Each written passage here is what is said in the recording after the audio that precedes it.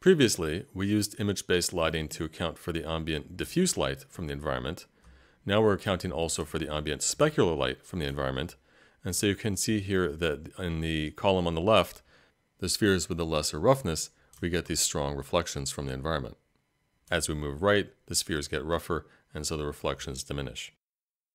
Now, ideally, we would calculate the specular light coming from the environment in all directions from the point.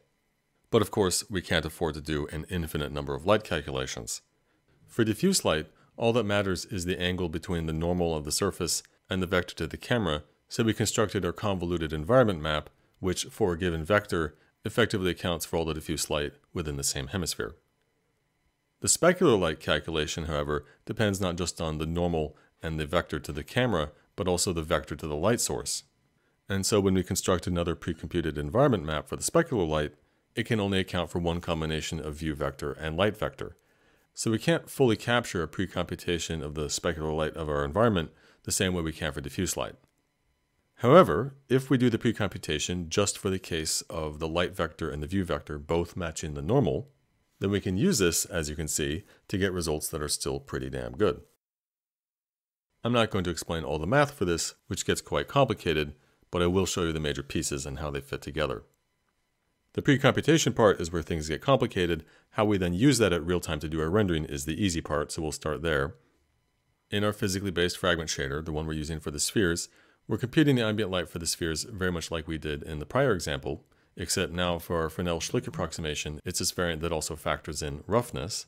And what that looks like is simply where in the original formula we have the value 1, in its place in this modification we have uh, this expression, we take the max of the vec3 of 1 minus the roughness value, but we use the f0 value, the, the base reflectivity value. We use that as a, as a floor.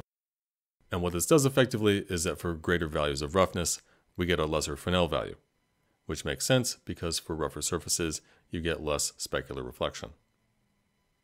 So that's our ambient term. Then for the specular, we're actually using two textures.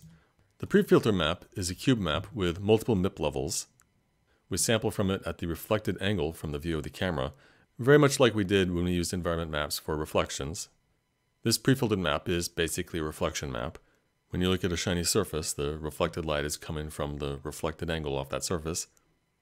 And note here we're using texture LOD, level of detail, where the third parameter here from the roughness is specifying the MIP level. The greater the roughness, the higher the MIP level, and as we'll see, the higher levels of the pre-filtered map are blurrier. So that gets us this pre-filtered color, but as we'll see, this is only part of the proper specular calculation.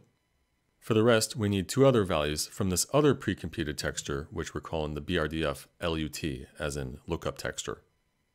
For a given n.v and roughness value, we get a red channel value, which we multiply with the Fresnel, and then we add to this product the value of the green channel. And be clear, these values have nothing to do with red and green, we just happen to store them in the red and green channel of this lookup texture. So this all then is multiplied with the pre-filtered color. That gets us our final specular term, which we then add with the diffuse, multiply with the ambient occlusion factor, and that gets us our ambient light. Now as for computing those two textures we need, the pre-filtered map and the BRDF lookup texture, well we need to start with our formula for the Cook-Torrance BRDF, which looks like this. We're computing the function of L sub O, output luminance, for a given point P and an output vector, which is the vector to the camera. That's omega sub O. It looks like a W, but it's actually lowercase omega. And anyway, that is all equal to this integral. It's an integral because in this case we're computing the light coming from all directions, coming from the full environment.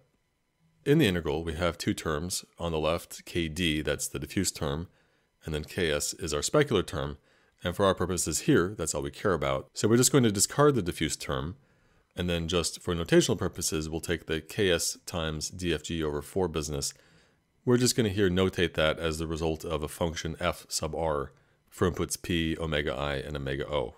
Omega i is the input vector, the vector from the light. What we're also going to do is split the integral, like seen here, because it's useful to us if we can compute these things separately and multiply them back together later. So it's actually just the left part of this split integral that makes up our pre-filtered environment map. For a point P and an input vector, omega sub i, we have some input light color value. Function L sub i just gets us an input light color from omega sub i, the input light vector. But note though, it's still an integral because it's a sum of all the light coming from all directions. And so very much like with our diffuse map, we'll be sampling from many directions, but weight the samples based on their angle, such that samples angled away from the normal contribute less. What's different this time is that we're rendering five different MIP levels for increasing degrees of roughness. The base MIP level is for the smoothest surfaces, and so samples angled away from the normal contribute very little, we effectively get very little blur, but then as we go up the MIP levels for increasing roughness, we want the blur to get stronger, which makes sense because smoother surfaces have more focused specular reflections, the rougher the surface, the less focused. As for the right side of the integral, that's what makes up the other lookup texture we need, which is called the BRDF integration map. Through a series of steps, which I gloss over here, the right integral here can be split into the sum of these two integrals. In the texture we're generating, the x-axis represents the roughness, the y-axis represents the dot product of n and h. We plug these two values into the formula here, and the integral value on the left we store in the red channel, the integral value on the right we store in the green channel. Again, be clear, this has nothing to do with redness or greenness. It's just convenient to use a texture to store these values. And then when you visualize the results, it looks like what we see here. Handily, this part of the calculation is entirely independent of what the environment looks like. So we can generate this BRDF integration map once and use it for any and all environments. In the interest of time and simplicity, I'll skip over covering the actual code, and instead we'll just look at constructing the pre-filtered map.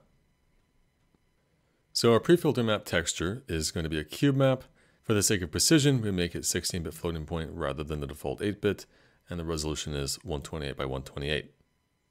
Because now we're actually dealing with multiple MIP levels, we want the GL linear MIP map linear filtering for minification.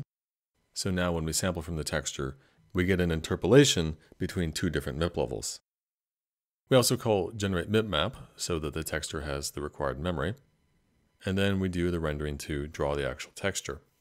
In this inner loop, we're looping six times to render once for each face, and in the outer loop, we're iterating for each MIP level. So for each of the five MIP levels, we have to generate all six faces. So when we specify the color attachment we're rendering into, we're specifying which cube face we're rendering to and which MIP level, and in the shader, the roughness is denoted through this uniform. So the vertex shader for this is nothing new. It's just a cube we render onto like for any cube map. But looking at the fragment shader, the local position is going to be our normal value. And as we've said, we can't pre-compute the specular light for all possible views, so we just simplify and assume the view to be the same as the normal vector. We're going to be computing 1024 samples in the hemisphere around the normal, and for each one there's going to be a weight value and a color that we compute, and in the end we take the total pre-filtered color and divide it by the total weight to get our output frag color. Now when we got samples from the hemisphere for our diffuse light, our samples were just evenly spaced around the hemisphere. Our sample points all just lay on a spherical grid. We could do the same here, but whereas the ambient diffuse light map we generated is very low frequency, it's quite blurry and there's not much detail, for specular light, our output is much higher frequency, and so instead of using evenly spaced samples, it's better if we add a bit of randomness, and that's what this important sample ggx function is doing. Given the input normal and a roughness factor, it's returning sample halfway vectors that are random but not too random. We're using here the Hammersley sequence, which is a so-called low discrepancy sequence, and so instead of getting totally random sample points, like you see on the left here, we're getting sample points that are random, but they're reasonably spread out and not too clustered, so we don't end up with large gaps in our sample pool, which would be non-ideal. Our sample generating function, note again, also takes in a roughness factor, because for high roughness factors, we want sample points that are spread out wide, but for lower roughness factors, we want them more clustered. In fact, for an idealized perfectly smooth surface, the specular reflections are all bouncing off in exactly the same direction, so you don't want any spread at all. So this gets us our random halfway vectors, and using the halfway vector, we compute the vector to the light by reflecting the reverse view vector off the halfway vector. We then compute n.l and do a safety check to make sure that n.l is greater than zero. I don't think there are cases where it would ever be equal to or less than zero, but just in case we do the check. And then we add to the pre-filtered color by sampling from our environment map using the light vector, but scaled by n.l. And n.l effectively represents the weight this sample holds, so we add that to the total weight. I glossed over how the sample is actually generated. That's done in the function up here. I'll leave it to you to look at it. It uses this helper function as well. This is the random number generation used in the Hammersley sequence.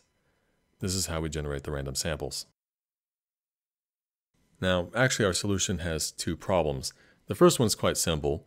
In this image, instead of using the regular environment map as our skybox, we're rendering the lowest MIP level of our pre-filtered map as the skybox instead. And you can see that the seam between the faces is quite visible.